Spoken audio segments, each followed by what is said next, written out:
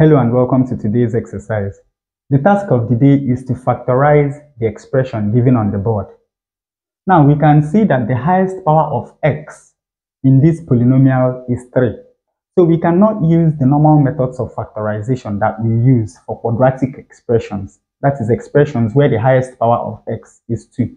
So how do we go about it? First of all, let us appreciate the fact that this is a function of x only.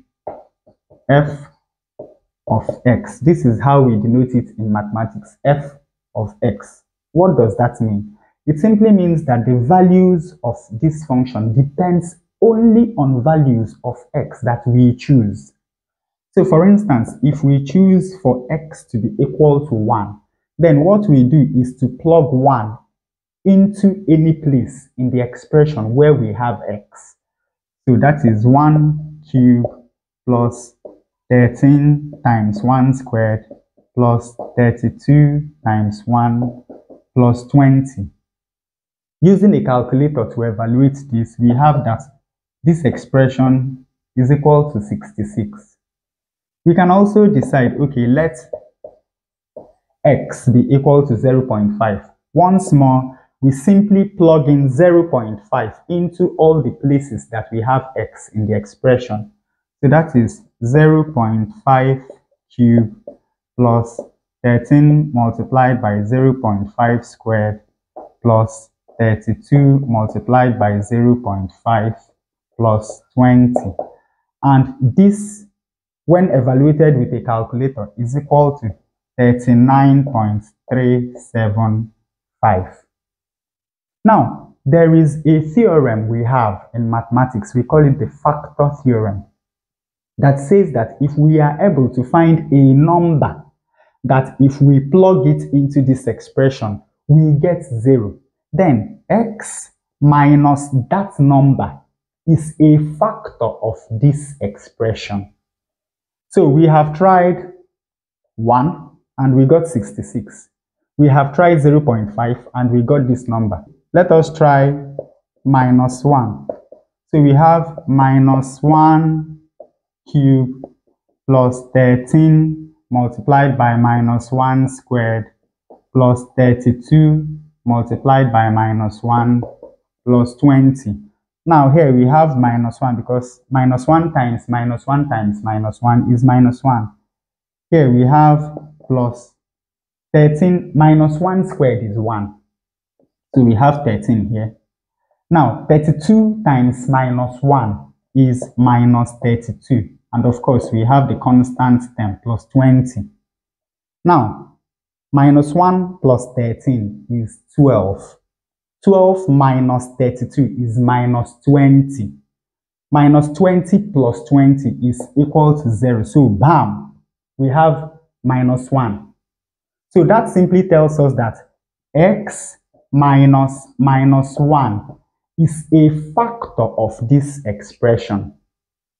So now that we have found a factor of this expression, the next step is to divide this expression by this factor to find the other factors.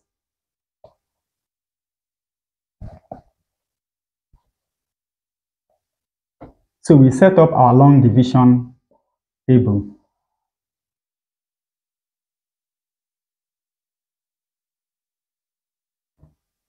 We have x cubed plus 13 x squared plus 32 x plus 20 inside. And we have x remember x minus minus 1 is equal to x plus 1 so we begin our division. x cubed divided by x will give us x squared. x multiplied by x squared is x cubed plus 1 multiplied by x squared is plus x squared. We subtract. This minus this is 0. 13 minus 1 is 12x squared. We bring down the other terms. We go again. 12x squared divided by x is equal to 12x. x multiplied by this is equal to 12x squared plus 1 multiplied by 12x is equal to 12x. Once more, we subtract. Of course, this is equal to 0. 32 minus 12 will give us 20x plus 20. We divide again. 20x divided by x is equal to 20. Now, x multiplied by 20 is equal to 20x plus 1 multiplied by 20 is equal to 20. We have 0. So you can see that after this division, we have that this expression divided by this factor is equal to this. So it simply means that x plus 1 multiplied by x squared plus 12x plus 20 is this. So we found two factors of this expression. That is this one and this one. So the next step and the last step is to go on and check if we can further factorize this quadratic expression that we have.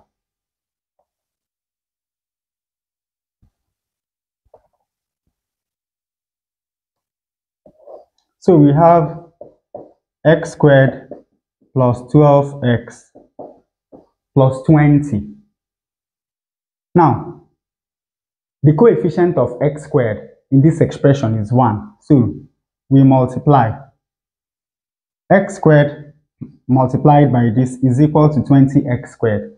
Now, we look for factors of 20 that will add up to plus 12.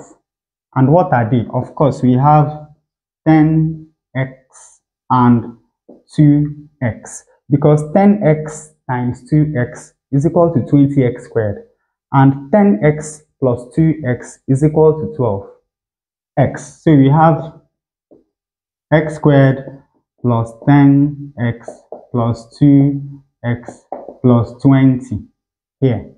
That is replacing this plus 12 with the two numbers we found. So here we have x into x plus 10. Sorry. And we have plus 2 into x plus 10. Telling us that the factors here are x plus 2 and x plus 10. So from here we have, we found three factors, x plus 1, x plus 2, and x plus 10. So that simply tells us that if we factorize this, this is what we get. To test this, you can, remember, you can find f of minus 2 and see if it gives you 0. Also, you can find f of minus 10 and see if it gives you 0. And that's that for today. See you in the next one.